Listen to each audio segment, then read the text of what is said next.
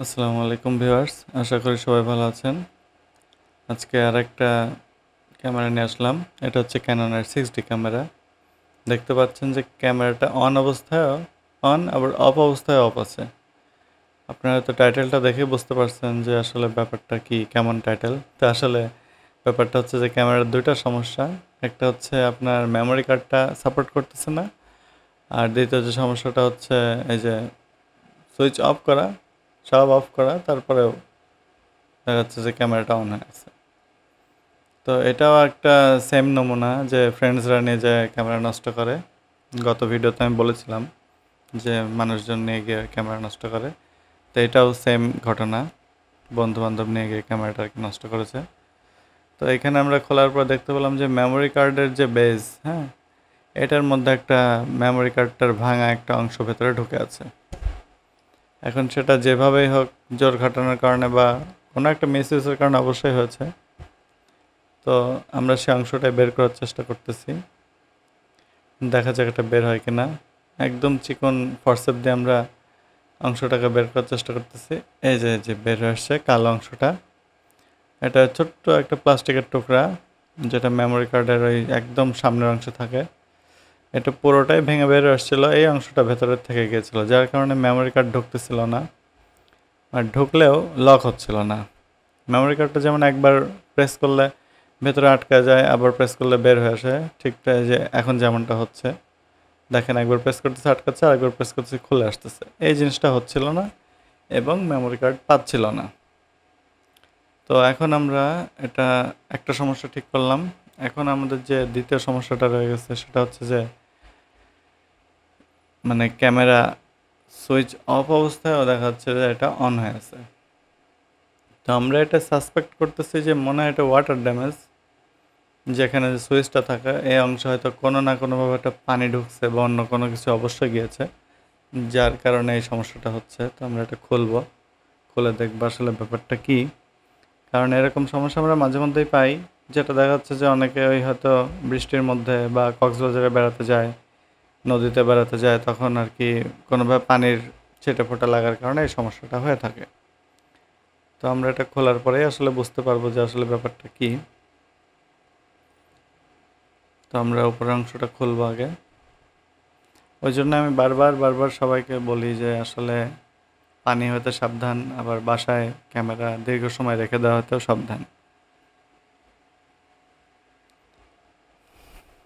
এটা খোলার সময় খুবই সাবধান থাকতে হবে যে ভেতরে যে ডিসপ্লে একটা আলাদা কানেক্টর আছে, এটা ছিঁড়ে গেলে শেষ।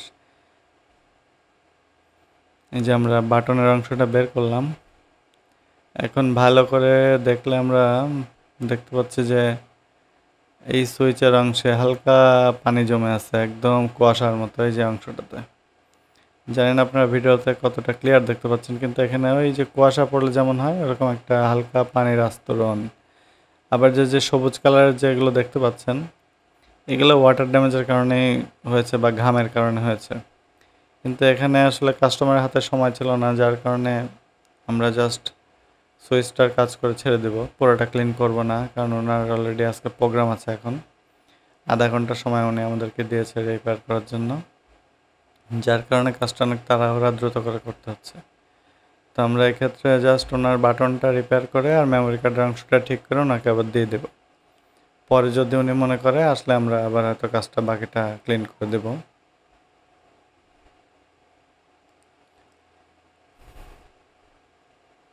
এই যে এখানে দেখেন, পানির মতো হালকা একটা স্তর জমে আছে। আমরা কটন বাট আর হচ্ছে থিনার দিয়ে এটা ক্লিন করব। অনেক সময় এটা ক্লিন করার পরে দেখা যায় যে সমস্যাটা থেকেই যায়। সেই ক্ষেত্রে বলে রাখা ভালো যে দুইটা যে ট্রেস থাকে এখানে মানে কানেকশ কানেকশন প্যাড এই প্যাডগুলোর মধ্যে মোটামুটি খুবই সামান্য পরিমাণে একটা ফাঁকা অংশ থাকে। ঠিক আছে? এই অংশটার মধ্যে যদি ওয়াটার ড্যামেজের কারণে কোনো অক্সাইডের লেয়ার জমে যায় হ্যাঁ সেটা, সেই ক্ষেত্রে হয় কি যে খুবই সামান্য পরিমাণে কিছু কারেন্ট চলাচলের একটা পথ তৈরি হয়ে যায়। তখন দেখা যাচ্ছে সুইচটা আমরা ক্লিন করার পরেও দেখা যাচ্ছে অন অবস্থায় থেকে যায়। অর্থাৎ শর্ট সার্কিট হয়ে থাকে, যার কারণে হয়তো ওই বাটনটা বা সুইচটা একভাবে কাজ করতে থাকে। যেটা আর কি এই ক্যামেরাটার ক্ষেত্রে হয়েছে। তো আমরা এখানে সব কিছু খুলে একদম এটা বের করে আমরা প্যাডটা সুন্দর মতো ক্লিন করব, করে আমাদের মাল্টিমিটার দিয়ে টেস্ট করব যে ঠিক আছে কিনা। যদি আমরা স্যাটিসফাইড রেজাল্ট পাই, তখন এটা আমরা কানেক্ট করব আবার। না হলে এটা কোনো সমাধানে আসবে না। অনেক সময় দেখা যায় যে দশ পনেরো মেগাওম রেজিস্ট্যান্স দেখাচ্ছে, তারপরেও সুইচ কাজ করে। ওই কারণে এটা খুবই ভালো মতো পরিষ্কার করে আবার মাল্টিমিটার দিয়ে চেক করতে হবে যে আসলে এটা একদম ইনফিনিট দেখাচ্ছে কিনা রেজিস্ট্যান্সটা না হলে কিছু কিছু খুবই সেন্সিটিভ বাটনগুলো থাকে যে কাজ করতেই থাকে। আমরা এটা ভালো মতো ক্লিন করব অনেক সময় নিয়ে। ভেতরে দেখে নেব কোনো ময়লা আছে কিনা।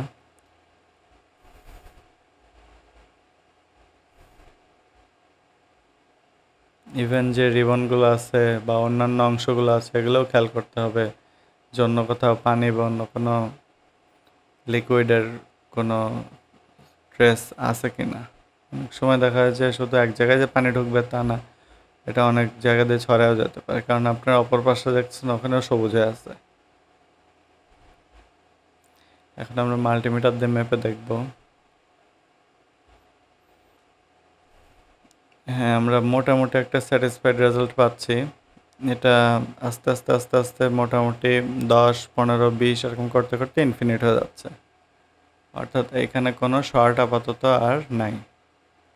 তার মানে এটা এখন আমরা সেটিং করতে পারব। আর কোনো সমস্যা নাই। আশা করি ক্যামেরাটা ঠিক হয়ে গেছে। দেখা যাক সেট করার পরে কি হয়। আচ্ছা বাটনের অংশটা লাগিয়ে নেওয়ার পর আরেকবার আমরা মুছে দেব। ভালো ভালো করে ক্লিন করে আমরা এটা সেট করব। একটু থিনার নিয়ে বারবার ক্লিন করে দেবো যাতে কোনো ময়লা বা অন্য কিছু না থাকে।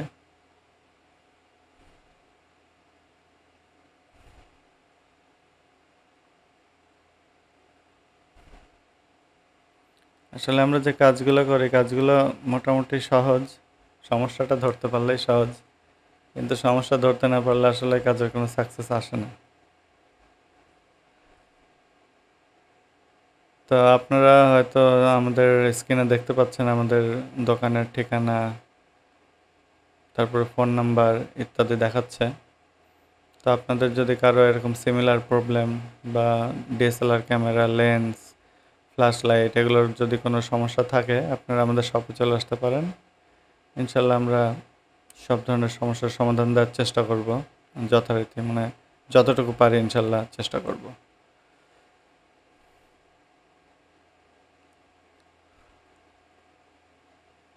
আর আমাদের ভিডিওগুলো যদি আপনাদের ভালো লাগে লাইক করবেন কমেন্ট করবেন শেয়ার করবেন।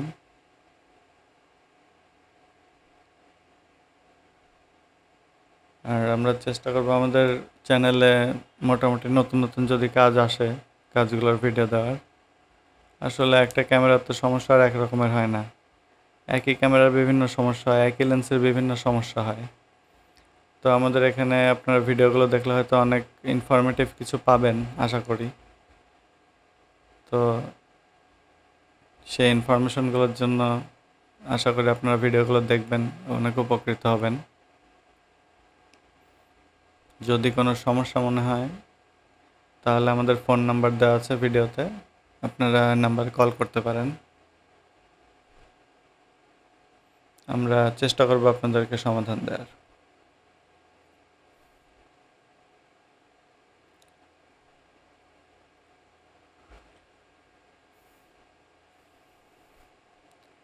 আর আসলে ইলেকট্রনিক্সের কাজ বা ক্যামেরার কাজ বা লেন্সের কাজ যেটাই বলেন, করার সময় একদম মাথা ঠান্ডা রেখে পরিষ্কার, পরিচ্ছন্ন পরিবেশে করাটাই বেটার বিশেষ করে লেন্সের কাজগুলো করার সময় শাটারের কাজ করার সময় খুবই সতর্ক থাকা প্রয়োজন যে ময়লা যেন ওখানে যাইতে না পারে।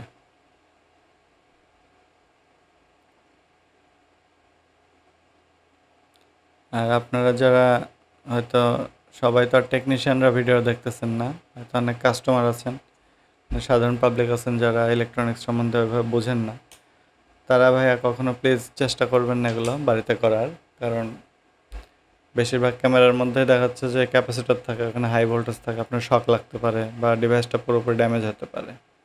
তো যদি আপনাদের সমস্যা মনে হয়, আমাদের কাছে নিয়ে আসবেন, আমরা ঠিক করে দেবো ইনশাল্লাহ তো দেখতে পাচ্ছেন আমাদের ক্যামেরাটার সমস্যা ঠিক হয়ে গেছে যে অন করলাম অন হচ্ছে। এই যে ইনফরমেশন সব দেখাচ্ছে। এখন অফ করে দিলাম, এই যে অফ হয়ে যাচ্ছে। তার মানে আলহামদুলিল্লাহ আমাদের কানেকশনটা ঠিক হয়ে গেছে। আর এই যে মেমোরি কার্ডটাও পাচ্ছে। এই যে ছবিগুলো দেখাচ্ছে মেমোরি থেকে। যাক, আলহামদুলিল্লাহ আমাদের ক্যামেরাটা ঠিক হয়ে গেছে।